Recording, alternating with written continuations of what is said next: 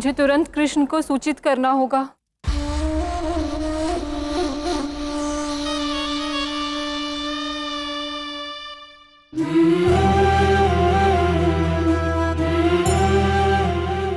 बाबा, आज मुझे आपकी बहुत याद आ रही है।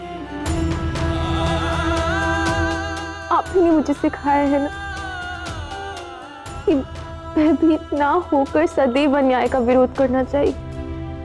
मैं आशा करती हूँ कि उस क्रूर कंस के अन्याय के विरोध मैंने जो निर्णय लिया है, सर्वथा उचित और मुझे पूर्ण विश्वास है कि यदि आज आप मेरे स्थान पर होते तो यही कर। और साथ ही मुझे मेरे कृष्ण पे पूर्ण विश्वास है कि वो सदैव की भांति इस बार भी मुझे इन सब संकटों से मुक्त करवाएगा।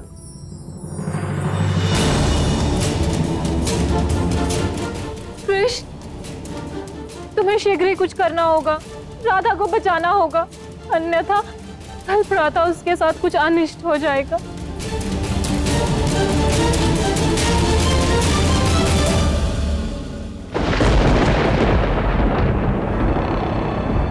किन विचारों में लीन हो रहा था क्या सोच रहे हैं? कि हम आगे क्या करेंगे? अब हम कुछ नहीं करेंगे आयन। क्योंकि अब जो करेगा कृष्ण करेगा। तो बुलाओ उस कृष्ण को। करो आह्वान करो उसका। क्योंकि जब भी तुमने उसे बुलाया है वो अवश्य आया है। मुझे तो बहुत भय लग रहा है राधा। इससे पहले कि कुछ अनिष्ट घटित हो जाए बुलाओ उस कृष्ण को। क्योंकि इस बार यदि वो आया तो लौट के नहीं जा पाएगा। कृष्ण कृष्ण।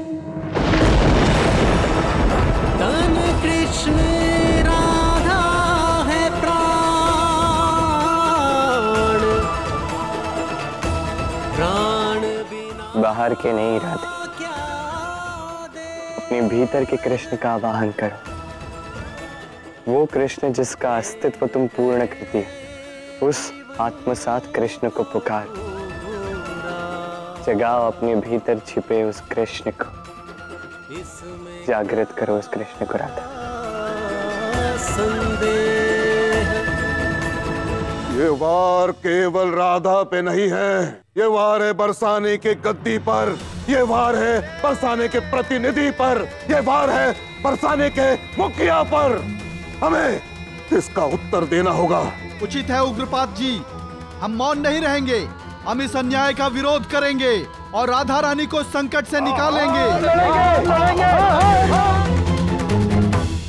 खाना तुम खड़े क्यों? जाते क्यों नहीं? हाँ कृष्ण। तुम साहस करो। आगे बढ़ो। बरसाना और वृंदावन का हर एक व्यक्ति तुम्हारे साथ है। हम सब मिलकर राधा को बचाएँगे।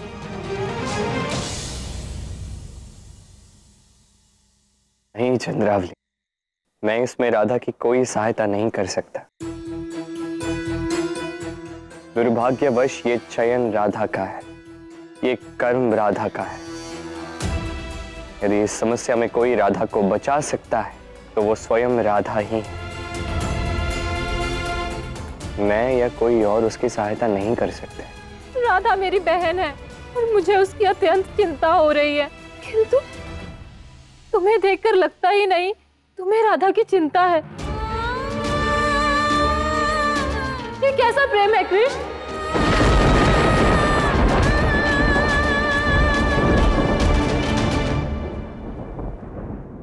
यही तो प्रेम है चंद्रायणी। कठिन समय व्यक्ति को अपनी संपूर्ण शक्ति, अपनी सामर्थ्य से अवगत कराता। मुझे अपनी राधा पर, उसके प्रेम की शक्ति पर पूर्ण विश्वास है। अब जब स्वयं जगाएगी अपने भीतर की शक्ति राधा, भला कृष्ण कैसे बने उसके इस कर्म में बाधा? कृष्ण अभी तक नहीं है। कैसे संभव? ये कृष्ण तो सचमुच नहीं आया। कहीं ये दुष्ट कंस सचमुच मेरी राधा को? नहीं नहीं। राधा वो कृष्ण अब तक क्यों नहीं आया? तुमने जब भी उसे बुलाया है वो तो दौड़ा चला है। तो आज उसे क्या हो गया? पुकारो उसे राधा। बुला चुकी। कई बार बुला चुकी हूँ किंतु वो नहीं आया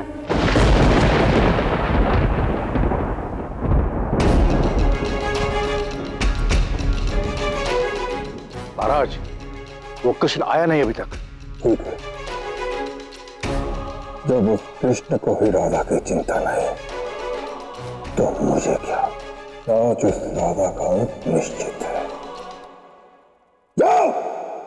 उस राधा को मेरे समक्ष ले आओ। जी महाराज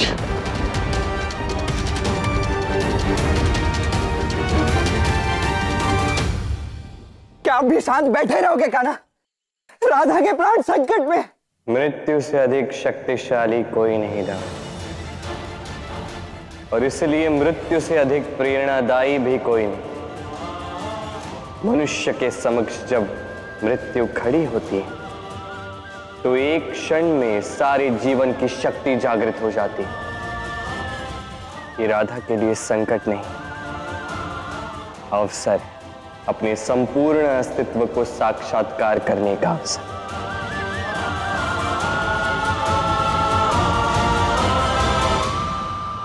कदाचित आप एक मुख्य तथ्य भूल रहे हैं था भूल रहे हैं कि राधा कौन है?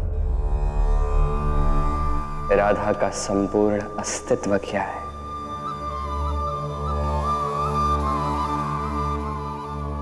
ऐसे कैसे मुझे अकेला छोड़ सकते हो कृष्ण? इतना विश्वास था मुझे तुम पर। तुम्हारे प्रेम क्या आज अपने प्रेम को झूठा सिद्ध कर दोगे?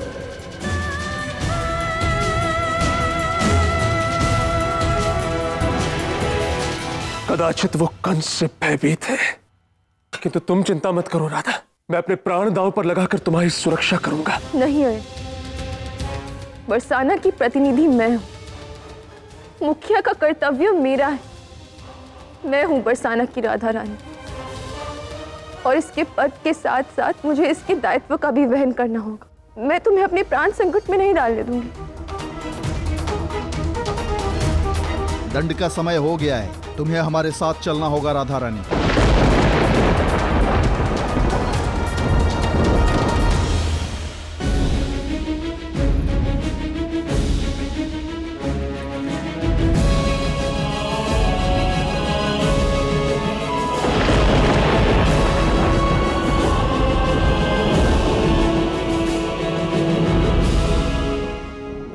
बड़ा था ना तुम्हें कि कोई तुम्हें बचा लेगा।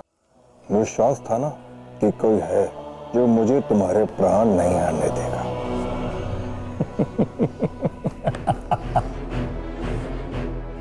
किंतु विश्वास से बड़ा होता है भय। कंस का भय! उसका प्रकोप देखो।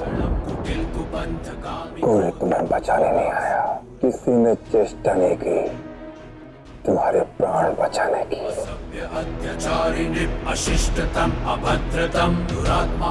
कहाँ है वो कोई राधा रानी?